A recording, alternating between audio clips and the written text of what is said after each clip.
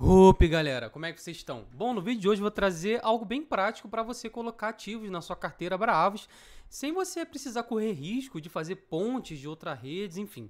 Algo bem prático utilizando o Pix, diretamente do seu Pix, para sua carteira Bravos. Eu vou mostrar agora, depois da vinheta. Vamos que vamos.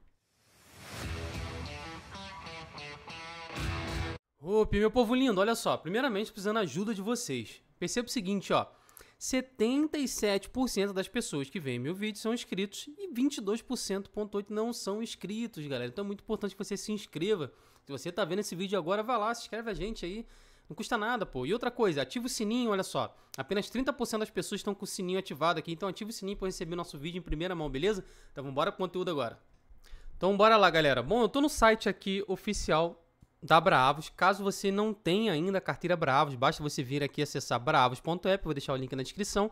E aqui embaixo, ó, você pode baixar a extensão, na verdade conectar aqui, né, a extensão Chrome, Firefox, Brave e Edge, tá? Esses são os navegadores aqui possíveis.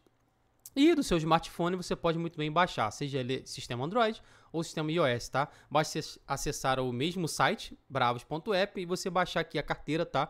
Tanto no Play Store, né, quanto na App Store da Apple, beleza?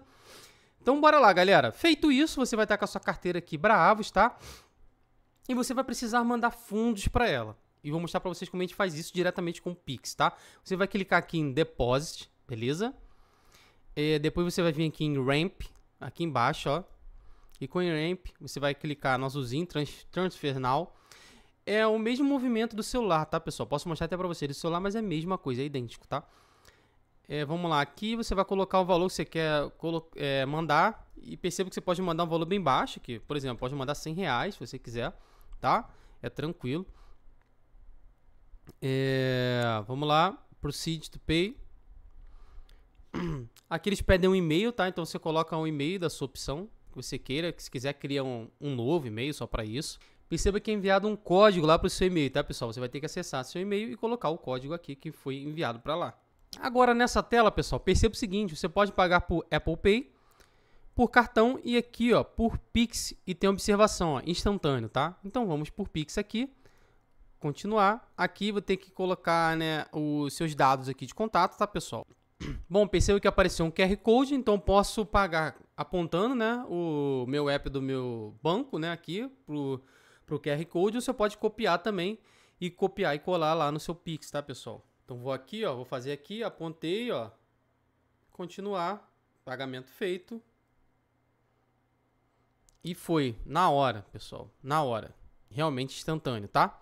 Aqui eu posso clicar e ver a transação que foi realizada. Ó, percebo que já caiu o valor via alteração, 416 dólares foi para 433 dólares, tá? Bem rápido, bem simples. Bom, galera, então agora que a gente acabou de fazer o Pix, ele foi realizado, caiu na carteira, vamos avaliar aqui o que aconteceu com essa transação. Bora lá, olha só. Clicando aqui, pessoal, a gente tem acesso ao explorador de blocos lá da Starknet, afinal a Bravos está na Starknet.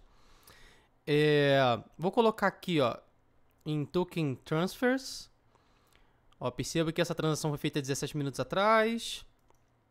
Vou clicar aqui na hash da transação. Vamos rolar aqui para baixo. Aqui tem o amount. Esse valor aqui, tá? Que tá em Way. A gente vai converter esse valor aqui para quanto. Ver quanto chegou na minha carteira, tá? Então perceba que foi 0.0107. 178 ETH ali, né? 1078, né? ETH ali. 0, na verdade 0.01078, tá? Melhor dizendo assim. E eu enviei, pessoal, aqui 0.108. O que corrobora aqui os dados que chegou lá para mim, porque eu mandei, as fiz aqui, ó. Perceba que Network Fee me cobrou 26 centavos de reais, por enquanto um valor razoável. E a rampa me, co me cobrou cerca de 15 reais, tá, pessoal? Então, assim, não muito diferente aí do que você fazer uma ponte, tá? Você gastaria numa ponte aí em torno de pelo menos também 10 reais, 15 reais, 20 reais, depende muito do momento, tá? Então aqui o total das FIIs, né? Junto com o Network Fee, mais a FII da rampa, 15 reais, 15.26, tá, pessoal? Então esses são os dados que a gente pode extrair daqui dessa transação que ocorreu agora. Bom, então é isso, galera. Muito simples, né? A gente fazer um pagamento aqui através do Pix.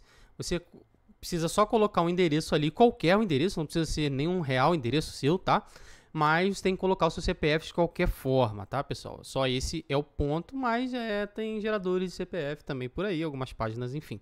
Fica a seu critério aí, tá? Então é isso, galera. Mandem direto agora, não corram risco mais com ponte. Valeu, tamo junto, espero que esse vídeo te ajude e até o próximo.